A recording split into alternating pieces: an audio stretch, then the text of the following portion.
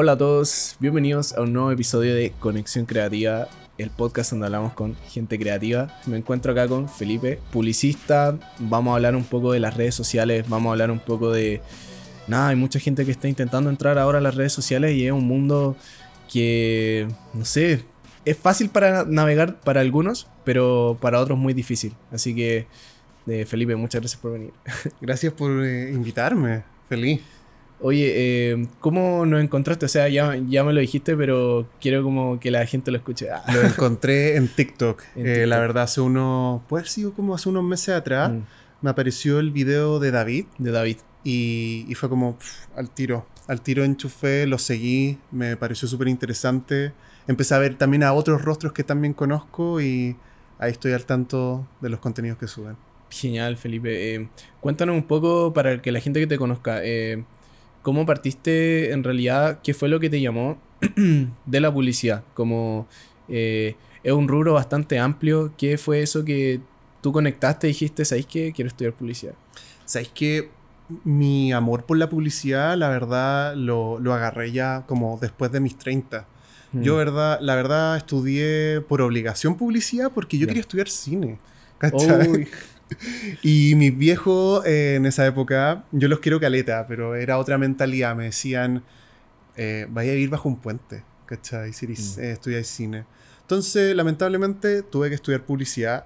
Me gustó mucho la carrera, em, pero siento que en la época que yo por lo menos eh, estudié, eh, era la época en que estábamos pasando de lo análogo a lo digital y había sí. como mucho cambio. Yo, por ejemplo, no, no vi nada digital, pero por, yo estuve muy atento, ponte tú, de, del concepto de las aplicaciones, ¿cachai? Mm. Cuando empezó a salir, por ejemplo, los, estos nuevos eh, celulares que eran touch, ¿cachai? Y después la aplicación en los juegos y era como, mmm, ahí se pueden ver oportunidades, ¿cachai? Y ahí en ese tiempo, claro, se consideraba una idea loca, pues, ¿cachai? Mm. Todo era una idea loca en el mundo digital. Cuando salí de la carrera, eh, yo salí súper ambicioso, la verdad. Mm. Yo quería estar en la mejor agencia de publicidad, quería ver marcas muy reconocidas, lo logré, sí. Eh, pero lamentablemente las agencias de publicidad son, son panadería, ¿cachai? Son mm. como te consumen caleta, caleta. Eh, yo era joven, lo pude, lo pude manejar. Eh, y la, lo que pasó más que nada ya, eh, estuve con marcas conocidas, como te dije, estuve con Easy, estuve con eh, CMR, mm. Estuve con estuve con un preuniversitario, el CPECH, me acuerdo, con Movistar. Y recuerdo que al momento de tirar ideas, ¿cachai? Onda, yo me acuerdo la época que yo hablé una vez, onda, que dije, oye, ¿por qué no abrimos un Instagram para Easy? Tú me vas a creer que me miraron así como, ya, ok, bájate la nube, ¿cachai? Entonces era como, eh, dos años después, claro, vemos que todas las marcas, esto fue como el 2013, todos empezaron a subir a Instagram y hoy en día está pasando lo mismo con TikTok y lo más probable es que en unos años más va a pasar lo mismo con otra red social sí. o otra plataforma. Eh, entonces como que también te hace pensar como que es una idea loca, pues, ¿cachai? Mm. Y el factor de por qué uno no escucha y como que se da el tiempo a analizar las cosas antes de decir, pucha, ¿sabes que eso no va a funcionar? O démosle una vuelta, ¿cachai? Mm. Pero bueno, esa, esa era la época. Y mmm, siguiendo como la ruta de la pregunta que me contaste, después me voy a ir a Estados Unidos, ¿ya? Eh, yo me voy con el objetivo de perfeccionar mi inglés y ya en ese tipo me llama mucho la atención el branding. El branding es la construcción de marca. Es algo mucho, es, es más que nada el mundo del diseño, eh, y yo quería hacer ese match entre el branding, la publicidad y el mundo digital, mm. ¿ya? Que estaba recién como así en boga. Eh, me voy, hice varios cursos, estuve trabajando. Eh, estuve, no encontré trabajo, ¿cachai? Como publicista, porque me fui a un estado muy competitivo. Me fui a Boston, donde un estado donde hay mucha educación, hay muchas empresas potentes ahí.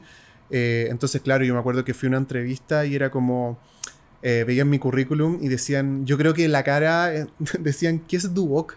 ¿Qué es Duoc? ¿Cachai? Y tenía otro al lado que tenía un diplomado, que tenía un magíster en Harvard. Entonces era como, no tenía, yo no tenía con quién competir, ¿cachai? Mm. Entonces no me contrataban y terminé trabajando como cajero en un supermercado, ¿cachai? Como para llegar a final de mes. Eh, me fueron ascendiendo ahí porque se enteraron que yo era publicista y todo. Mm. Fue una experiencia la raja, la raja. Qué buena. Y cáchate que yo ya con 30 años, yo me acuerdo que mucha gente me decía, weón, eres cajero. Pero si tú estudiaste una carrera universitaria, hay trabajado. Y yo le dije, pero bueno, no me queda otra, pues bueno, ¿y cómo llego a final de mes? Claro. ¿Cachai? y en un momento igual me afectó como decirlo. Hay personas que yo nunca le conté y después le dije al tiempo, porque yo sabía que me iban a mirar así como, chucha, este weón cayó, cayó bajo, ¿cachai? Y des- después, puta, me di cuenta que en verdad ser cajero o, o lo que sea, weón, da lo mismo. Es como que... Da lo mismo, sí. Weón, si al final ese, ese puesto me daba las lucas para poder pagar mi arriendo, mis clases, todo. Sí. Y por otro lado también lo, lo- le di hartas vueltas cuando estaba allá. Era como, puta, yo, yo pagué mi universidad. Yo entré, yo trabajaba en Starbucks y era DJ en ese tiempo y con eso hacía las lucas para pagar mi universidad.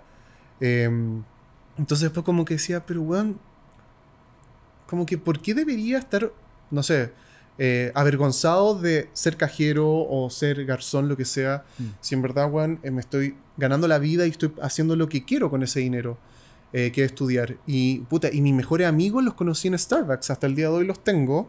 Entonces, es como, te quedas como un poco pensando, me fui en otra rama, pero volvamos, sí. volvamos a la línea de tiempo. Me gusta que se, se, puede- se pueden explorar muchas ramas en conexión. Y el tema que pasó que, eh, mira, no les voy a mentir, pero Estados Unidos igual me generó muchos cambios mentales respecto eh, al estilo de vida, a la sociedad chilena, latinoamericana. Eh, yo, como- yo cuando me fui, eh, justo me fui en una época donde pasó este tema que llegaba mucha gente extranjera a Chile, especialmente los haitianos. Y yo recuerdo un llamado telefónico de mi vieja y que me dijo, onda, bueno, está lleno de negros. Y es como, ¿cómo? ¿Así? Está lleno de negros. Y yo, pero vieja, ¿cómo, cómo estáis diciendo eso? Pero si es verdad, así se dice, po, todos chi- en Chile decimos la agua así, po. Yo, puta mamá, trata de sacar eso de tu mente, ¿cachai? Porque y le explicaba, ¿cachai? Eh, y también con otras, con otras cosas más, pues. ¿cachai? Hay, siento que en general, hasta hace un par de años, Chile vivía con varios estereotipos, pero Harto. varios. Y hoy día se está hablando el tema, ha cambiado un poco. Tenemos que seguir onda, eh, no- o sea, tenemos que seguir como eh, educando a las nuevas generaciones respecto a esos temas. Yo, por ejemplo, una... em, mira, respecto a ese tema me pasó un tema, pero heavy en Estados Unidos, que cuando yo renuncié, eh, los gringos igual son súper especiales a veces, weón, ¿cachai? Hay unos que son súper clever y otros que son como vos decís como, ¿qué onda? Así. A mí me pasó que el día que yo renuncié, que ya me volví a Chile porque eh, en ese año estaba Obama. Y cuando hubo el cambio de gobierno con Donald, el loco, ¿cachai? Se rumorea, pero eh, trató de cerrar todos los trámites de los papeles, ¿cachai? Con toda la gente que era inmigrante.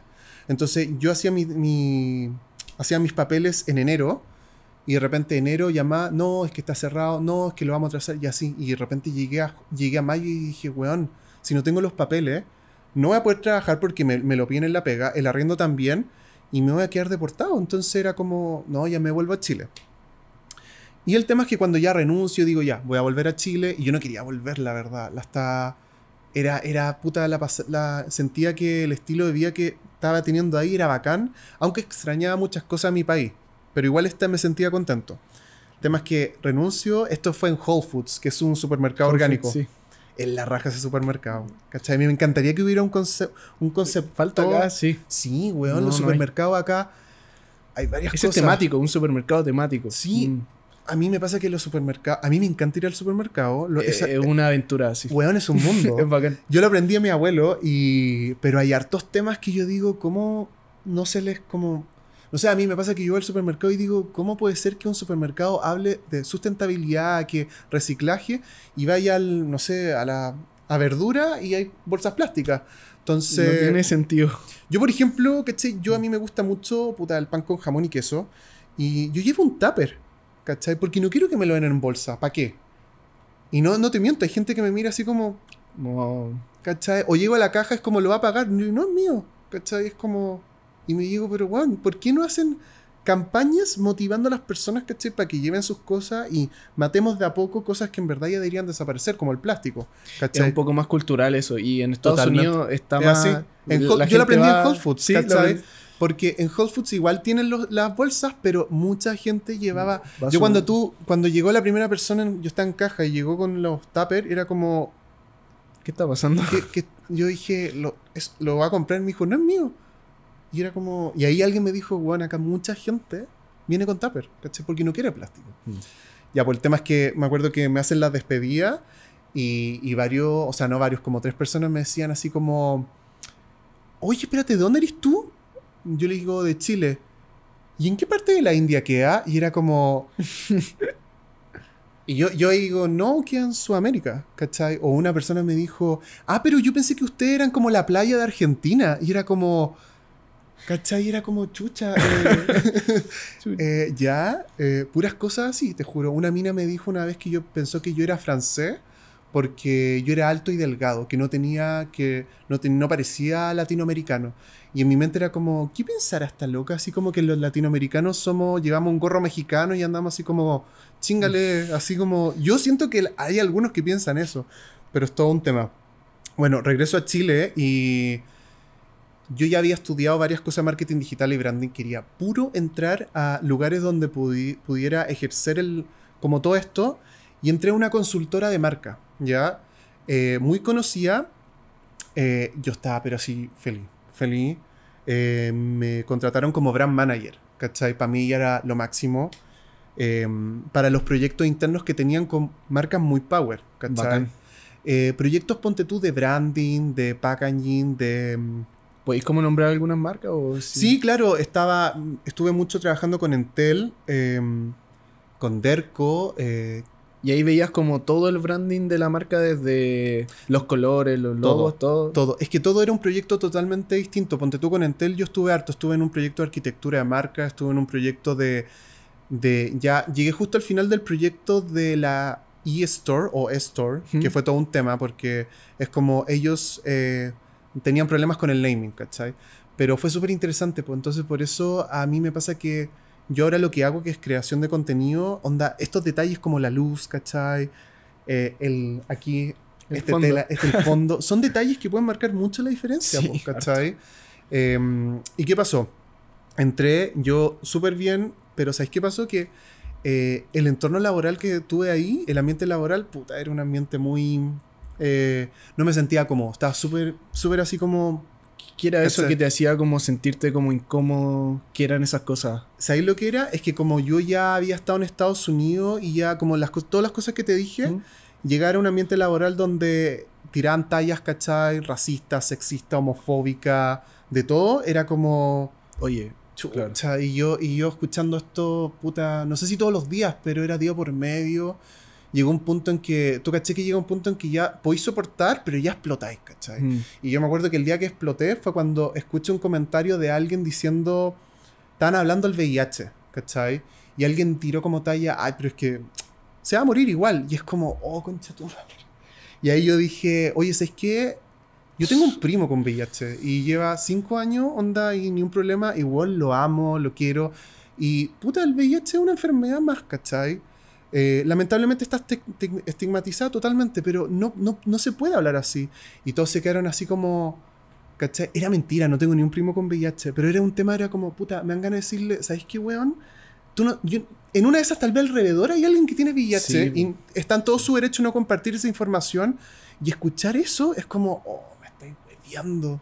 ¿Cachai? Y ahí te das cuenta cómo, cómo las personas pueden cagarla, ¿cachai? Haciéndose el gracioso, el buena onda en un grupo, en un grupo trabajo, en un grupo humano. El tema es que ya, filo, yo tuve que ahí eh, ser, o sea, yo igual a mí me encantaba mi trabajo, ¿cachai? Pero no te Eh, gustaba la cultura. Y, y se habla mucho ahora que las empresas como que intentan desarrollar cultura, pero siento que también la cultura se genera y es como parte de las conversaciones que tienen las personas dentro. po. Sí, po. Y si tenéis como a personas que dicen esas cosas o como que a pesar de que hagáis como que tengáis una mesa de ping-pong o que tengáis como eso no es suficiente como que generar cultura es mucho más profundo que simplemente como tener una mesa de ping-pong. Sí, no, entiendo el punto, es verdad. y- Sí. Y, yo creo que es, es una tarea para la empresa. Sí, es gigante. Educar en esa área, porque no es fácil, po, No. sabiendo que hay generaciones que en verdad es como que aún ven a la mujer y al hombre como como así como cosas totalmente distintas y que uno tiene más privilegios que el otro, entonces como es un tema, Mm. ¿cachai? El tema es que eh, llega la pandemia, estallido social, bueno, pre- previamente llega la pandemia y esta empresa es, está en varios lados de, en varios países, entonces nosotros ya teníamos conocimiento de lo que estaba pasando en China y que en verdad iba a llegar a todo el mundo y que iba a quedar la cagada, entonces ellos fueron como precavidos y empezaron a cortar cabezas. La primera cabeza que cortaron fue a mí, fue a mí, ¿cachai? Eh, y fue a mí porque, claro, era, eh, dentro de ese grupo humano yo no, no tenía amigos, ¿cachai? Claro. Yo, yo iba a hacer mi trabajo, me iba, de repente me invitaban y yo iba por ya, igual decía ya, ok, pero escuchando, iba a escuchar las mismas cuestiones, ¿cachai? Entonces era como ya, ok. Eh, cuando tuve la salida, no les voy a mentir, pero puta, igual es penca que te echen. Sí. Eh, aunque Sí. ellos me hayan dicho, oye, no, en verdad el trabajo súper bien y todo, pero por- por- es por temas de presupuesto, toda la agua, ok, les creo. Eh, pero después dije, puta, qué bacán haber salido de un ambiente tóxico, ¿cachai? Mm. Es como. Y de un ambiente también donde sentí siempre que No pertenecía ahí. no pertenecía y Mm. tampoco no era escuchado, porque yo, ponte tú, eh, yo era como la cara visible de la, de la consultora con las marcas, ¿cachai? Y yo muchas veces hablaba de proyectos internos, especialmente en redes sociales, ¿cachai? Yo a mí me gustaba mucho ver las redes sociales de la empresa, si en verdad aplicaban el branding, ¿cachai? Del proyecto que hicimos o no, y también la comunicación. Y yo muchas veces levanté la mano, onda, Juan, deberíamos tener un área así como estrategias o tendencias, ¿cachai? Para las marcas, si ya tenemos los contactos nunca fui escuchado, entonces por ese lado yo dije, puta la raja, ¿cachai? El tema es que, weón, pasan una semana y llegó la pandemia. Obviamente empecé a mandar currículum, nadie me pescaba, era como puta, ¿no? Y ahí era como, concha tu madre. eh, por suerte tenía un ahorro. Qué bueno, Em, qué bueno. eh, justo también estaba entrando, eh, me separé, ¿cachai? Ahí, entonces fue todo un tema, em, pero no había pega, po, No. Y, y yo siempre, todos los años, me estaba rondeando ese bichito eh, de la construcción de comunidad digital, ¿cachai? No sabía por dónde, pero siempre dije comunidad digital. Y yo ya había estudiado harto el tema de TikTok, que se estaba hablando muy poco en el año 2018, ¿cachai? Mm. Em, Nada se hablaba en TikTok. Nada, acá Nada. en este país nada. Pero ya se está hablando mucho en Asia, en Europa y en Estados Unidos. ¿Tú cachabas como la aplicación ya del 2018 como cachabas que iba a ser fuerte? Sí, se hablaba mucho y se hablaba mucho el formato video, ¿cachai? Y, y a mí me llamó mucho la atención varias cosas que yo siempre he estado muy al ojo con Instagram. Que por ejemplo, el 2000, si no me equivoco, el 2018 creo, Instagram saca una aplicación para competir con TikTok, con TikTok que se llama Lazo. Y fue un fracaso. Y después, un año después, crea los Reels internamente dentro de Instagram. Mm. ¿Cachai? Entonces ahí yo dije, oh, wow, acá hay un tema. El tema es el siguiente. em, estaba, con, estaba sin trabajo y era como, bueno, voy a crear, quiero, voy a, voy a hacer Contenido propio. que- contenido propio. Mm. De lo que me gusta, que son redes sociales, eh, publicidad y diseño. Y cuando llegó el momento de empezar a decir, ya, ¿a quién le voy a hablar? ¿Cachai? Siempre me interesó el mundo del emprendimiento, ¿cachai? Como esa persona que tal vez, eh, puta, le apasionaba las pinturas, el arte, la artesanía, lo que fuera, y que tal vez tenía un trabajo tal vez que no le gustaba, o que tal vez quedó cesante y dijo, puta, esta es la oportunidad para probar con lo que me gusta, con lo que siempre he querido.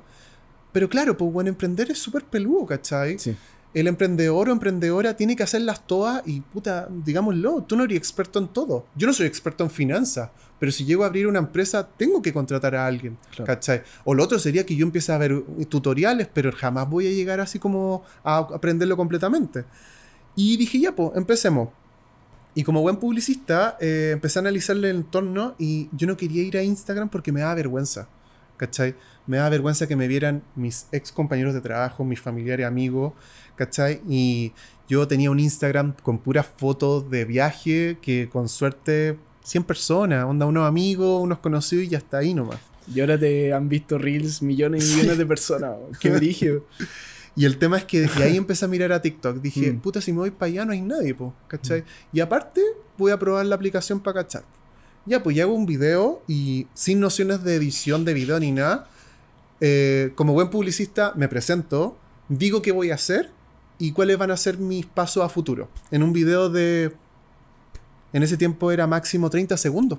¿cachai? No era un minuto, era 30 segundos. Era en ese año solamente TikTok era 30 segundos. Qué brígido. ¿Cachai? Ahora son 10. ¿Cachai?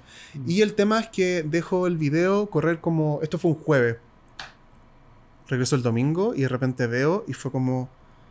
mi- así, what a shit. Así mi cabeza explotó. Tenía 2000 seguidores. Tenía. El video se había visualizado más de 20.000 veces. Tenía comentarios y tenía gente como, Juan, quiero trabajar contigo, tengo un emprendimiento así, toda la cuestión. Y ahí nació mi primer cliente. ¿Cachai? Qué. Mi primer cliente fue un caballero, o sea, un caballero, una persona de edad que se llama Hernán Barahona. Eh, es chileno y se fue a vivir al sur. Y el tema es que él, no me, no me acuerdo qué estudió, pero él trabaja en finanzas. Y trabaja asesorando a empresas, ¿cachai? En procesos de quiebre, ¿cachai? Y él quería crear su marca personal.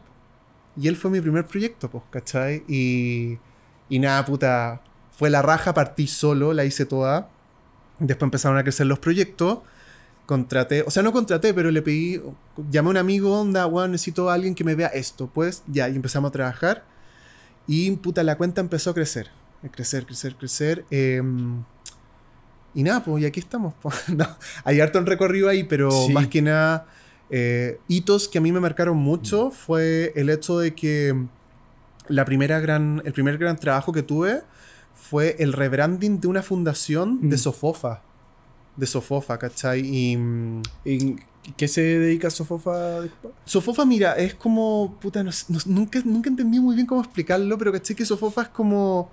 Es la cuestión. ¿Sabes que lo vamos a buscar mejor? ¿Sabéis que sí? Sí, porque. Si se que- busca, porque yo eh, tengo que decirlo bien, porque si lo digo mal. no lo era- parafraseamos, decimos, ¿qué es Sof- Sofofa?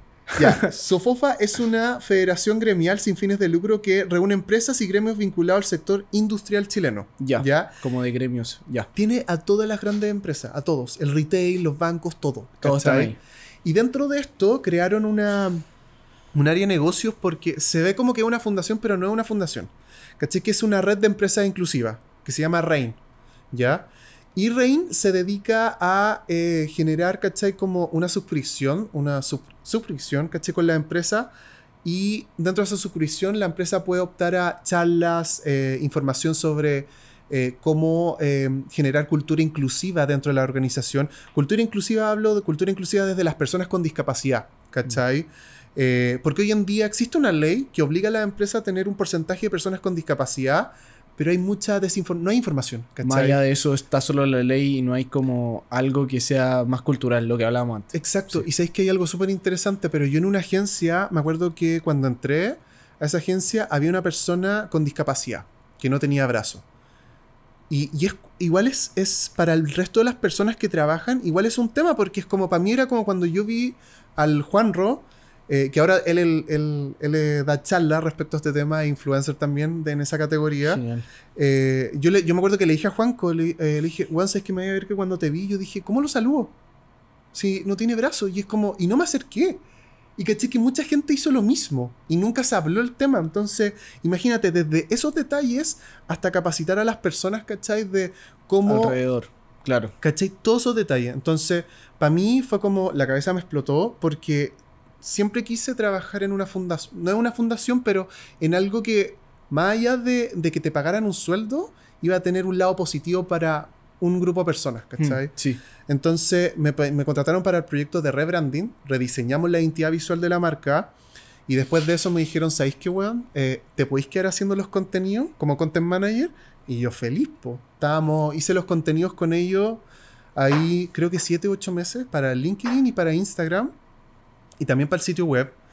Y mm, puta, hicimos muchas cosas. Es que lo bueno es que caché que creían mucho en mí y yo les proponía, bueno, hagamos una campaña. Por- Oye, ¿por qué no hablamos? Juntémonos con esta empresa a hablar de lo que ha hecho de la inclusión, ¿cachai?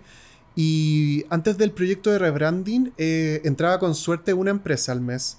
Después de eso, ¿cachai? Empezaron a entrar tres, cuatro y marcas Power, Harto. ¿cachai? Yo estuve cuando entró Claro, cuando entró eh, CMPC, cuando entró. ¿Quién más? Em, no me puedo acordar quién más. Habían varias. em, Derco, si no me equivoco, también entró. Corona entró. Entraban Pero varias marcas. Varias, Mm. ¿cachai? Entonces, igual rico, pues entonces yo igual preguntaba, onda, oye, ¿cómo? No, bueno, es que vi los contenidos en LinkedIn, también le, la- le llamaba la atención los colores, los colores, ¿cachai? Cosas que son detalles que pueden marcar mucha la diferencia. Entonces, después de eso, ¿cachai? Em, pasó que estuve con ellos el 2021. 2020, sí, el 2021.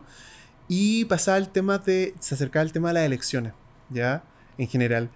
Y me contacta, me ve alguien que nunca supe quién fue, pero le dio el contacto eh, a un diputado que quería entrar a la reelección de su campaña, o sea, de, de su candidatura, y quería hacer una campaña conmigo. Y fue como, wow. Yo le dije, loco, ya, hagámosla. Y el tema es que eh, estuve un rato con él y no tuve que retirarme, más que nada. ¿Por qué? Porque, pucha, pasaba que el equipo de trabajo de ellos eh, era muy consumista, ¿cachai? Era como muy absorbente y yo... Te absorbía mucho. Y yo fui súper claro porque yo ya llegó un punto en que yo dije, yo no voy a trabajar como panadería para nadie. Eh, este es mi estilo de trabajo, yo voy a cumplir totalmente, pero estos son mis tiempos, ¿cachai? ¿Y cómo describiríais ese estilo de trabajo, Felipe? Ese estilo de trabajo va del punto de vista de eh, una persona que valora su vida personal y su tiempo, ¿cachai? O sea, a mí sinceramente que me llamen un sábado a decirme, oye, ¿sabes qué? ¿Podéis cambiarme, cambiarme esto? Y yo, lo vemos el lunes, ¿cachai? Eh, no, es que lo necesito ahora. No, es que la persona que ve eso está ahora con su hijo, qué sé yo, en un parque o en Fantasylandia, lo que sea. No lo voy a llamar para que salga de eso. ¿Cachai? Pero es que yo te estoy pagando. Yo dije, no. Y ahí fue como, puchas, es que hablé con, el, con la persona, con el cliente, el, diputado, y le, le, expliqué la situación y le dije, puchas, es que mira, me voy a retirar, te voy a dejar a alguien a cargo, pero yo prefiero llegar hasta acá, ¿cachai? Porque yo firmé un acuerdo en el cual se hablaba, se hablaba estos tiempos, estos este, términos. Estos términos, ¿cachai? Mm. Un ambiente laboral, ¿cachai? Y yo y dijimos, ya, dale, ni un problema. Y después de eso, em, cosas de la vida, pero Em, yo empecé a hacer talleres para emprendedores porque muchos emprendedores me decían, oye, ¿por qué no te haces un taller de redes sociales, de Canva? Que Canva es un sitio web y una aplicación para crear contenido y que muchos emprendedores y marcas lo usan. Entonces, y esto lo hablo mucho en mis contenidos, en TikTok y en Instagram. Y ahí empecé a hacerlo y me fue, pero increíble. O sea, me acuerdo que yo tenía la duda como, pucha, ¿llegará gente? Lo verán. Sí. Y la cosa pasó que me acuerdo que subí un video, un reel y un TikTok. Eh, en menos de una hora tenía los cupos listos. ¿Cachai? Y a mí la cabeza me explotó. Y a mí lo que me, llamó mucho la atención era que yo le decía a la gente, oye, ¿tenía alguna duda? Consulta. Me dijo, no, ¿dónde te pago? Pero no tenía ni una duda y consulta. Así como en verdad quiero, quiero que entendáis muy bien lo que, a lo que vaya a entrar y no, no quiero decepcionarte. Ese era mi punto. Claro. Me dijo, no, es que a mí lo que me interesa es que tú me hagas el curso. Quiero estar, quiero estar contigo. Y ahí empecé a notar el término marca personal. ¿Cachai? Yo dije, oh, qué cuático el tema de la marca personal. Como alguien genera una comunidad y genera confianza.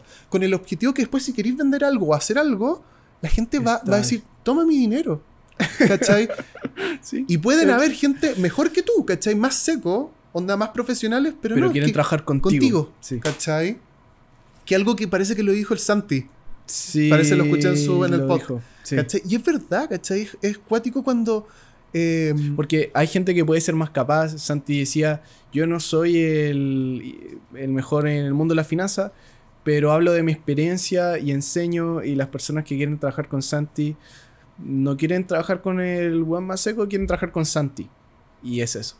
Y Santi desarrolló su marca personal, eh, Santi Inversor, un, saludo a Santi. Eh, y de hecho hizo posible este diálogo, así que gracias. Full agradecido al amigo, al Santi. Eh, pero es verdad, es ¿cachai? Es un tema hoy en día. la em, marca personal. Eh, yo lo hice sin darme cuenta, ¿cachai? Orgánicamente. Y la verdad, en el proceso me empecé a dar cuenta de este término, de quién era hoy en día. También me empecé a dar cuenta cómo involucré mis conocimientos, lo que me gusta, ¿cachai? Con lo que estoy haciendo, ¿cachai? Que es mm. contenidos digitales. Cuentos cortos, ¿cachai? Ponte tú, yo me acuerdo que a mí siempre yo he ocupado gorro, ¿cachai? Eh, y recuerdo que una vez, onda que era como a principio, cuando justo el año que comencé, el 2020, a crear contenido en TikTok, eh, me pegué una escapada a la playa, era como diciembre, y se me quedó el gorro, ¿cachai? Y empecé a hacer videos ahí en la playa como para subirlos también, y de repente la gente me empezó a decir así como, oye, me costó cachar que erais tú, y yo, ¿por qué? Porque no tenía el gorro, y dije, oh, loco, es un elemento que te define, ¿cachai? Y ese elemento puede ser algo, la ropa, el color, la voz, ¿cachai? La A mí me, me lo han dicho como un capítulo salí sin lentes y un live salí sin lentes y como que la gente me decía, oh JP y los lentes. te das cuenta Y era como, y la oh, gente está atenta. La gente está atenta, Sí, Entonces, y te digo que y eso también es lo que provoca el, el hecho de que la gente cuando está involucrada en redes sociales Mm. se involucra con las personas. Yo sé, en junio me dio COVID y, y yo hablé del tema, ¿cachai? Porque dije, puta, si es que no voy a hacer videos. experiencia. No voy a hacer Mm. tiempo, no voy a hacer videos porque puta, estoy- voy- voy- tengo COVID, estoy para loli. Sí. Y la gente así como, Juan, mejórate, toma esto, oye, hace. Pero así preocupada y ahí te das cuenta como decir, Juan, aparte de generar comunidad, estás generando lazos, ¿cachai?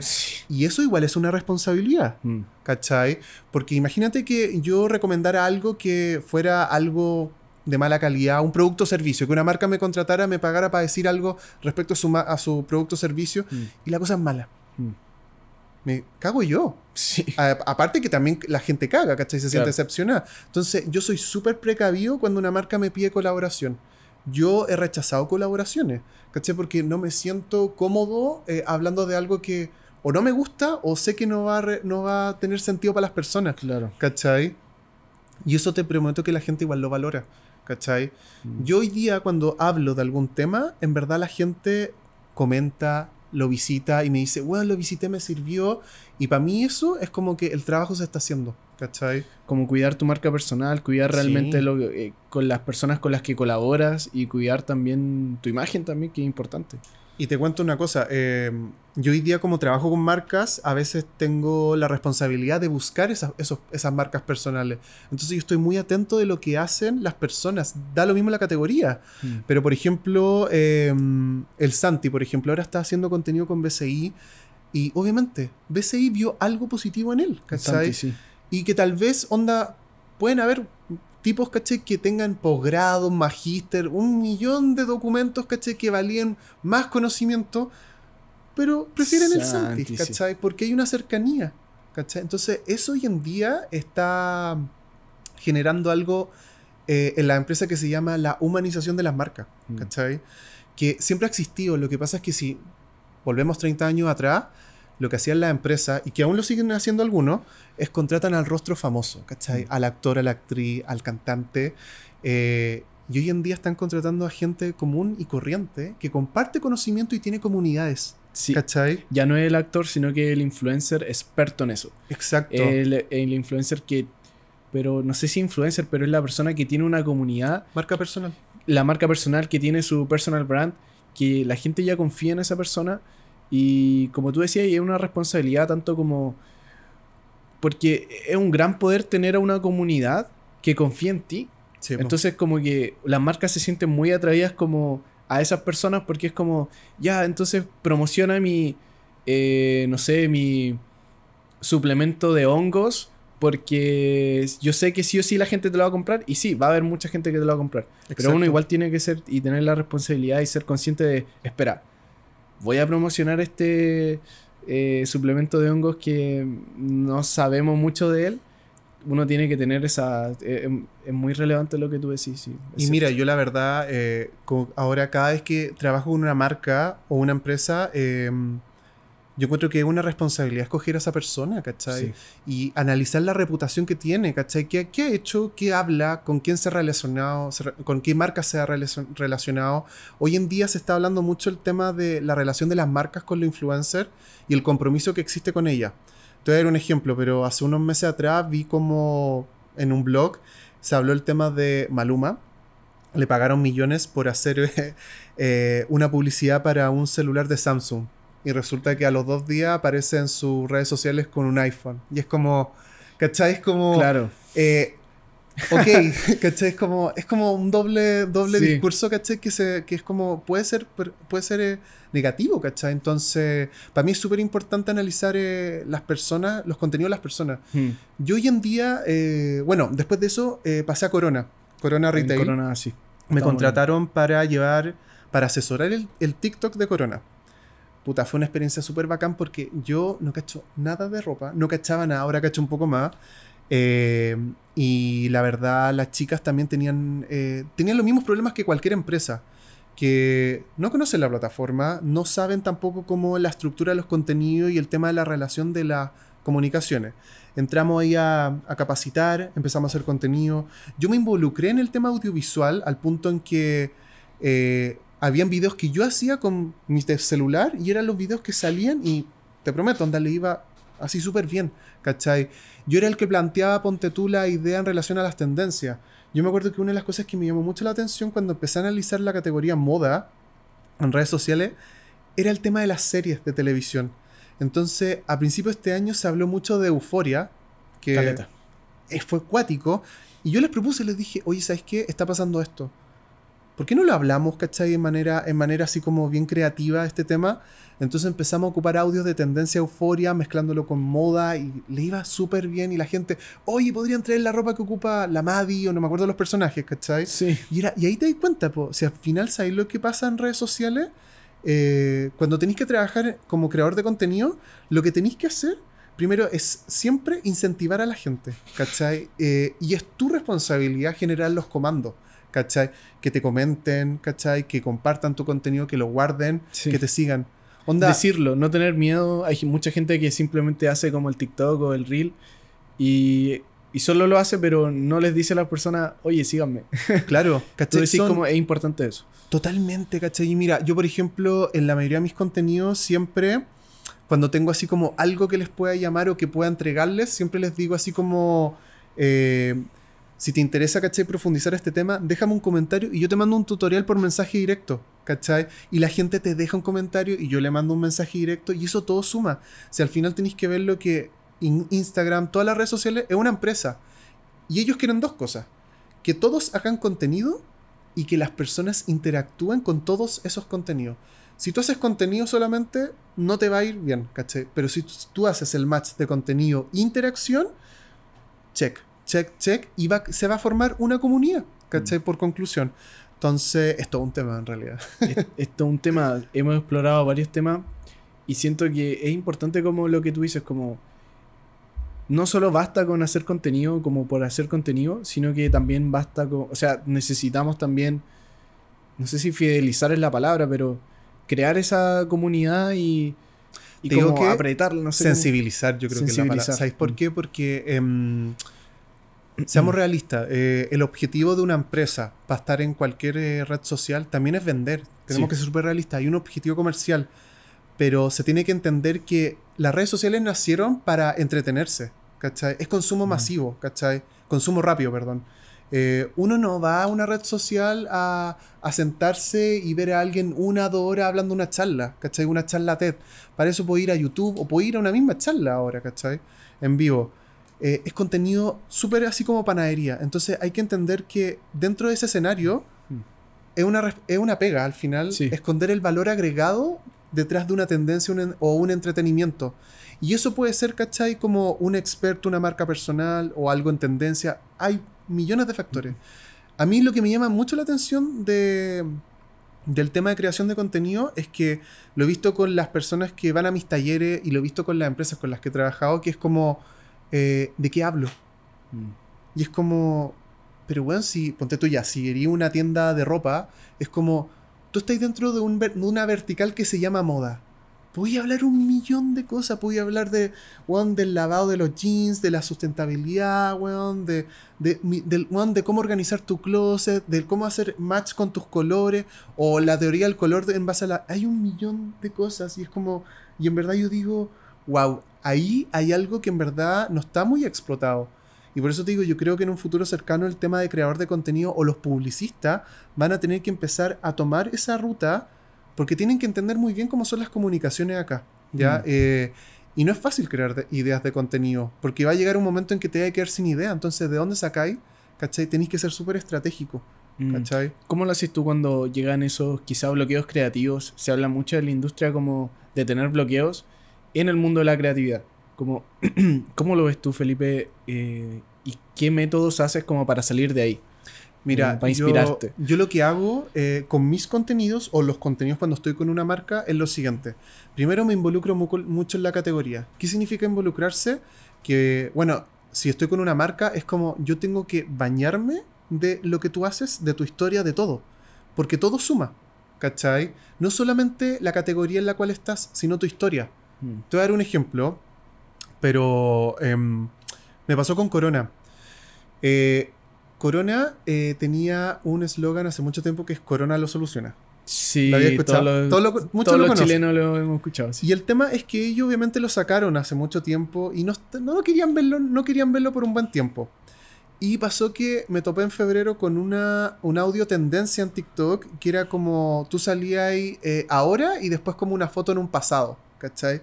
Y era con una canción de Celine Dion, ¿cachai? Una que es como de los 90. Y en un momento yo estaba grabando en la tienda de Corona, estábamos haciendo un live y grabando con un influencer para los contenidos de TikTok y fue como yo me acordé de eso y dije, voy a grabar la tienda, ¿cachai?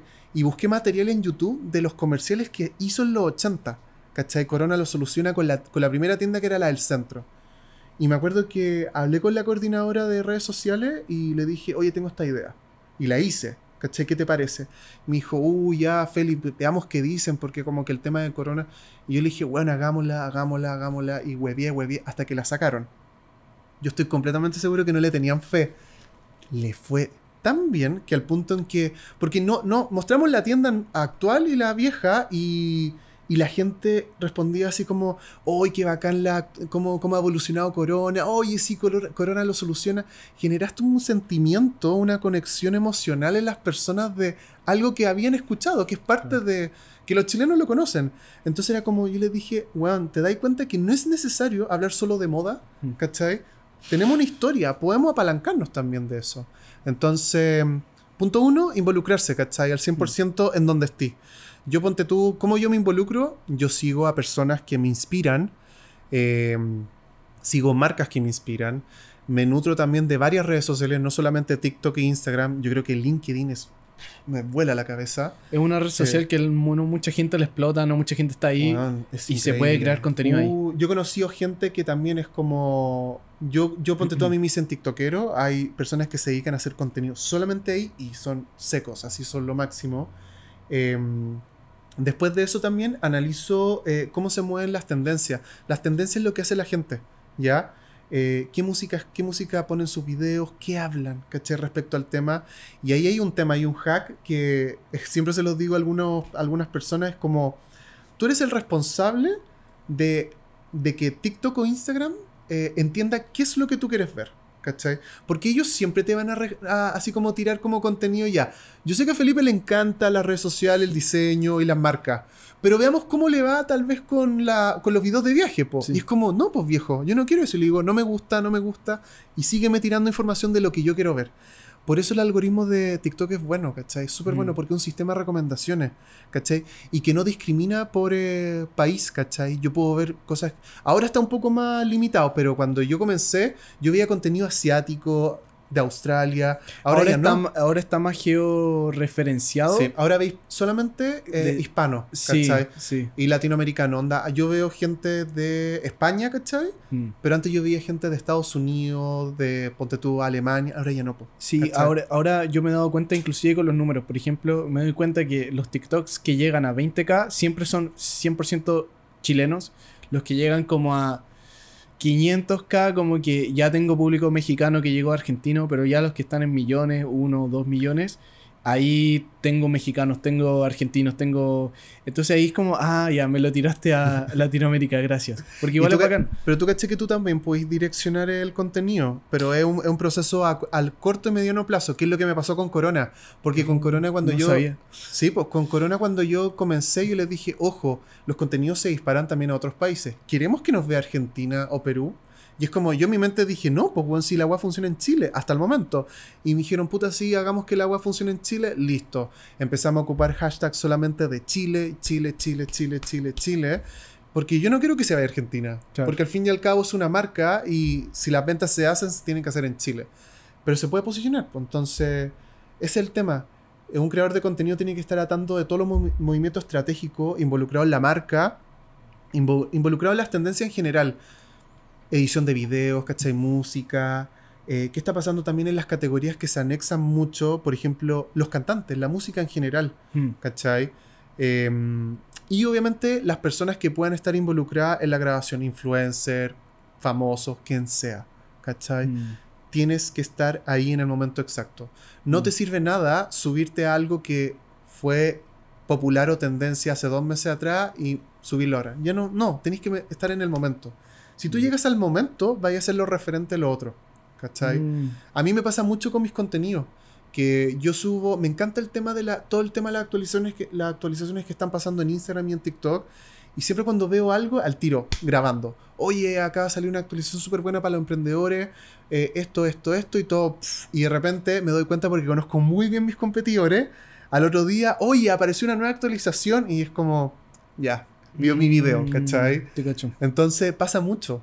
Pero Mm. ¿quién se vuelve el referente? El primero que habla. Por eso una de las actualizaciones que va a pasar a- ahora, y ya está pasando, que lo habló el, el Big Daddy de, Insta- de Instagram, fue el tema de contenido original y creativo. po, Sí, la. ¿cachai? ¿A Sí. quién pertenece la eh, el inicio de algo? ¿cachai? Sí. a quién pertenece y de hecho darle privilegio a eso y si se resube el algoritmo como que va a empezar a ver como ah ya este contenido se resubió entonces le va a dar menos engagement a este y más a este Exacto. no no ha pasado y de hecho cuando hicieron esta actualización siento que fue cuando Conexión Creativa en Instagram que Instagram siempre fue como siempre era TikTok Instagram YouTube y Spotify pero como último YouTube y Spotify porque es un contenido más extenso Mm. eh, pero cuando Instagram hizo, ¿sabéis que Cuando hizo esta actualización, nuestros reels se empezaron a pegar más. Me pasó lo mismo. Me pasó demasiado. ¿Cuándo y- te pasó? ¿En qué mes? Como hace dos meses. Bueno, me pasó. Sí. ¿Cierto? Puta, qué, qué buena. Qué, qué- mira, qué bacán la weá que me decir. sí. Porque quiero, yo necesito, mira, como obviamente no hay un manual de instrucciones que te diga Instagram funciona así, tú tenés que empezar como a analizarlo. po. Entonces, que alguien te diga, oye, me pasó lo mismo este mes, como ya, bacán, estamos. por- porque yo, por ejemplo, cuando hablo de Instagram, yo hablo siempre diciendo eh, mi hipótesis. Porque no hay un manual de instrucciones. Y si encuentro una fuente, ahí puedo decir, oye, Claro. Mm. pasa esto, ¿cachai?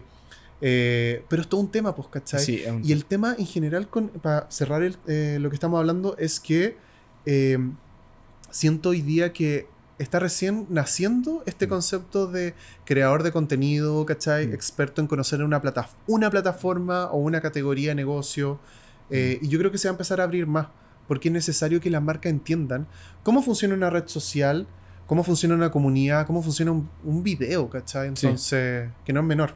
Mm, no, no es menor y algo que hay una herramienta ahora que es súper buena y para las personas que están creando contenido, eh, yo les sugiero harto como crear colaboraciones, como que uno puede colaborar con alguien y pasa algo que es en el mundo de Spotify. Eh, yo lo leí cuando eh, me iba a meter a un proyecto con un artista urbano Ya. eh, hace, hace como un año y medio y al final no, no pasó. Entonces, pero yo igual me empecé como a, a ver el mundo de Spotify porque quería... Es ¿cachai? un mundo poderoso. Es un mundo muy poderoso Sí. y quería saber cómo Spotify determina cuáles son los artistas que te ponen en estas big playlists.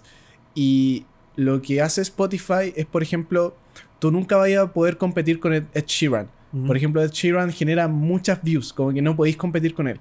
Y cómo Spotify descubre a artistas, eh, artistas que son nuevos, lo que hace es, si tú generas inclusive 500.000 reproducciones en una semana, está Sheeran, como que a Spotify no le, no, no le interesa porque se va a dilatar esas 500.000 reproducciones en una semana.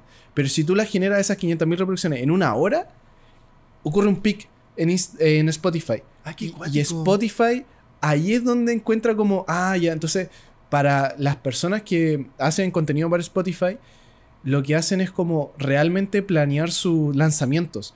Y como decirle a todas las personas, bueno, a esta hora realmente metámonos por- para poder generar esos pi- pics.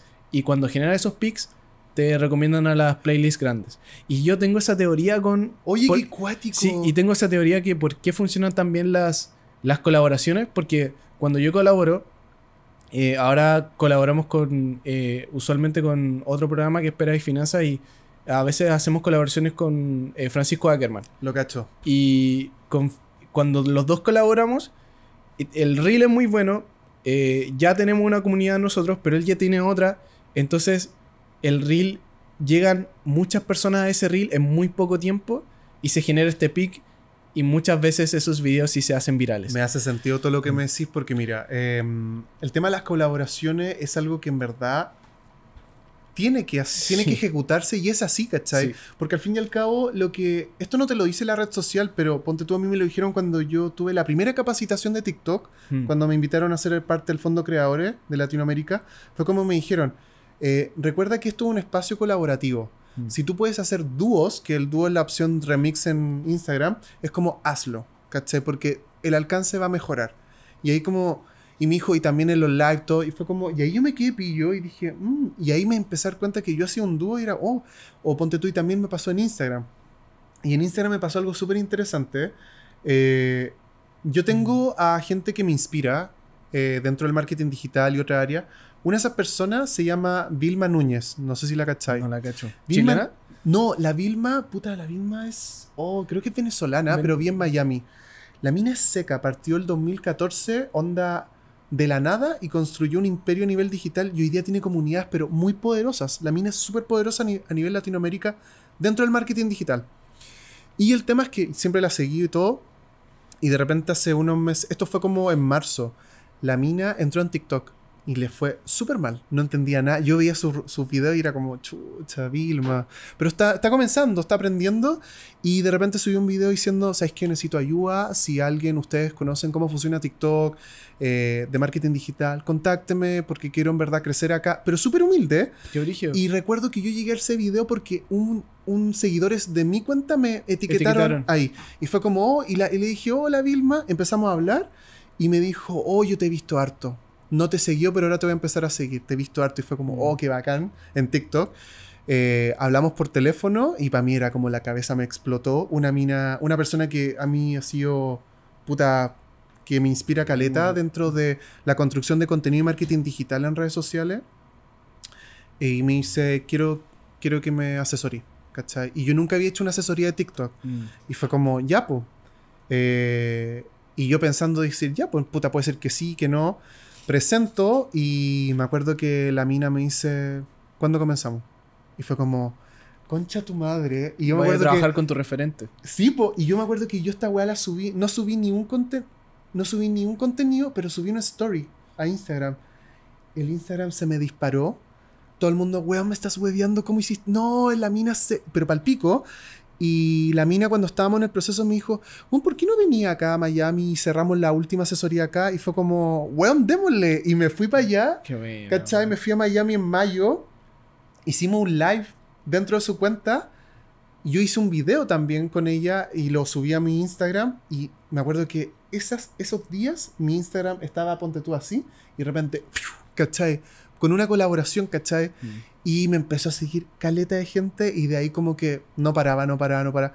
Por eso yo siempre digo, las colaboraciones tienen que hacerse, pero no con cualquiera. Mm. ¿Cachai? Que ahí es donde cometen el error, ¿cachai? Mm. A mí, ponte tú, me etiquetan mucho en videos colaborativos en Reels y yo no lo acepto porque para mí, ¿qué me sirve? Puta, en buena onda, pero eh, ponte tú, yo, a mí el año, este año, no, el año pasado y este, me contrató Eucerin, la marca de cremas, para hacer una va a ser una academia de contenidos digitales para dermatólogos, ¿cachai? En Latinoamérica. Y después de eso me siguieron puro mucha gente del área de salud. Y hacían reels y me, hacían colaboraciones, como me etiquetaban en colaboración, pero a mí de qué me sirve, ¿cachai? Estar en un video donde alguien que hable de una crema, si mi contenido es otro, ¿cachai? Entonces, eso es súper importante. ¿Quién es la persona? ¿Tú le diste, ¿Usted le dieron el clavo, ¿cachai? Con la persona para hacer ese match. Mm, Entonces, y ojo en y yo sé que van a haber más personas, así que no pierdan ese foco. Sí, yo creo que también el algoritmo e igual se demora en entenderte a veces. Sí. Como que está la teoría de que son como un mes, dos meses, eh, tres meses. Y realmente nosotros también fue un proceso. Pues. O sea, nosotros al principio te comentaba JP como 500 eh, seguidores. Mentir, los primeros 100 seguidores nos demoramos más de un mes en seguir a los 100 seguidores y el contenido era el mismo. Entonces, claro, gente, o sea, nosotros ahora sí ven la cuenta que explotó. Y yo también a veces como que digo, esto es surreal, o sea, ya son 100.000 personas, es son muchas personas. Pero también fue un proceso al principio muy lento y al principio como...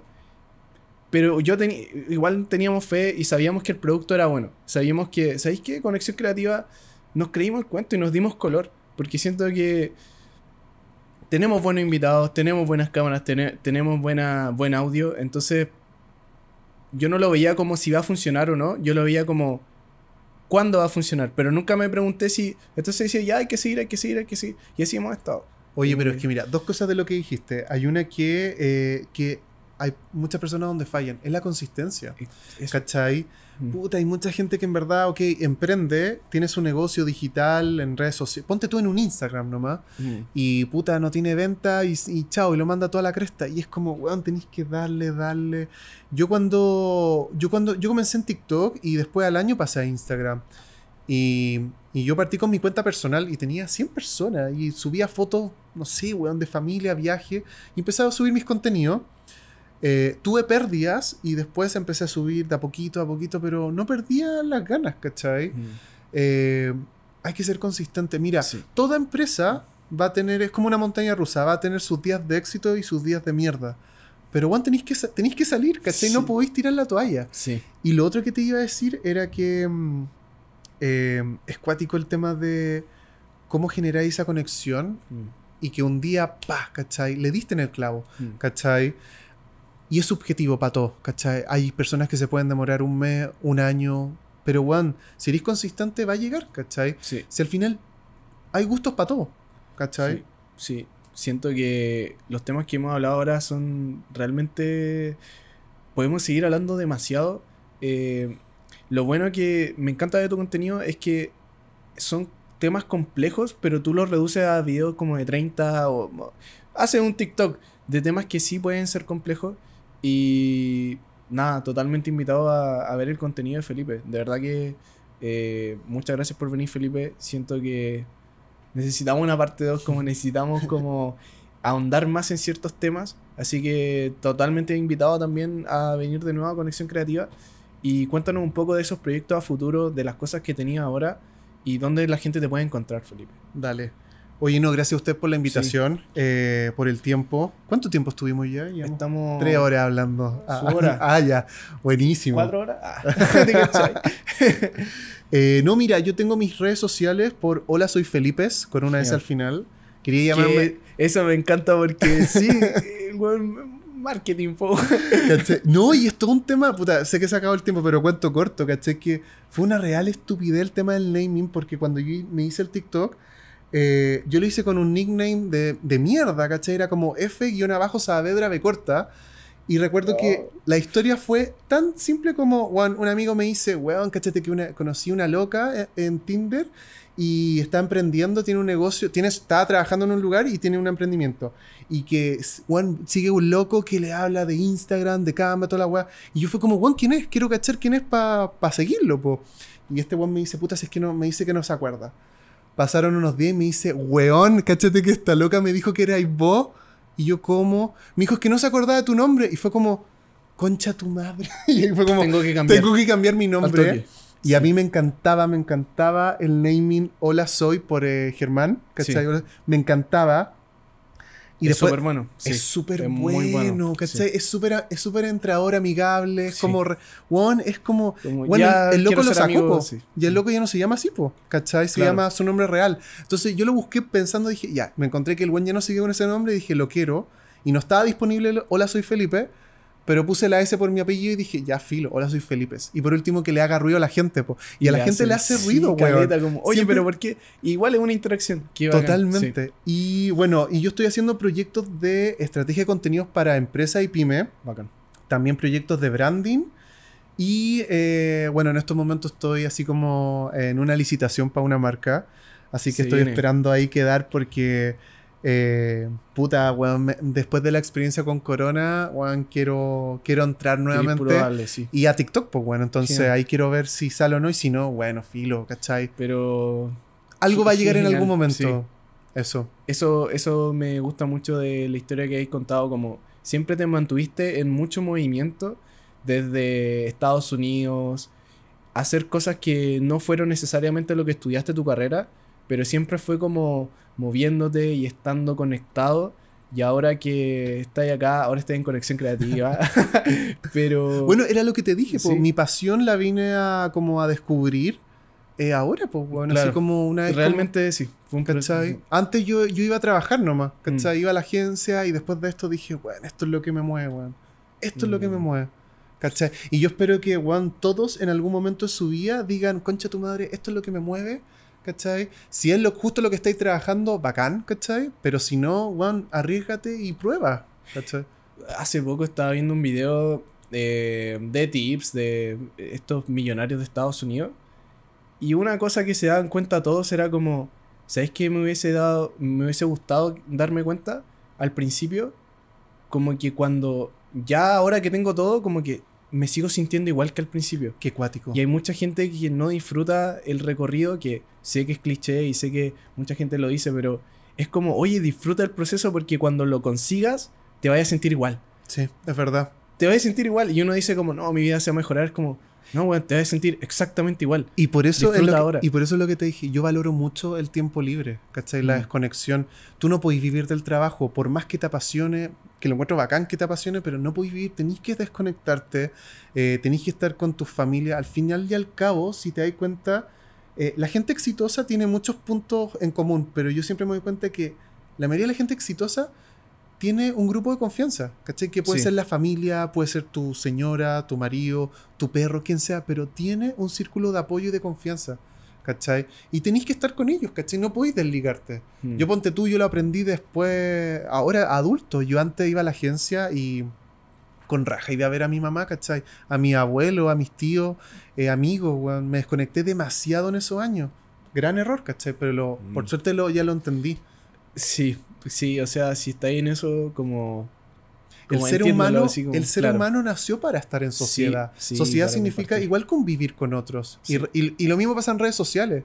Las redes sociales se llaman redes sociales porque so- sociabilizas con otros. Claro, ese ese es el... Al final eso es como conectar con otras personas y si tu objetivo Conectar. es como un número externo, eh, estáis haciéndolo mal. Gente, nos pueden ver en Conexión Creativa Podcast en Instagram, TikTok, Spotify y YouTube. Y nada, eh, muchas gracias por venir acá, Felipe. Te. Gracias a ustedes. Conexión Creativa, acá termina. Chau. Buena.